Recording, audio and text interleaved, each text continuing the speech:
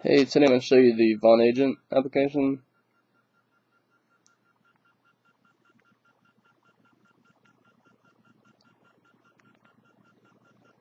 And I don't have a Vonage username or password, so I can't really go into much detail, but I can tell you, if you have Vonage, this will allow you to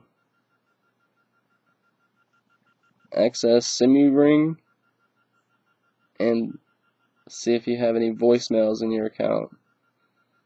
Basically, this is a control panel for your Vonage account.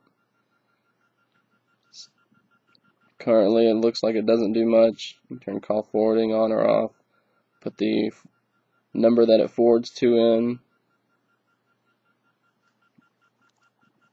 And that looks like about it.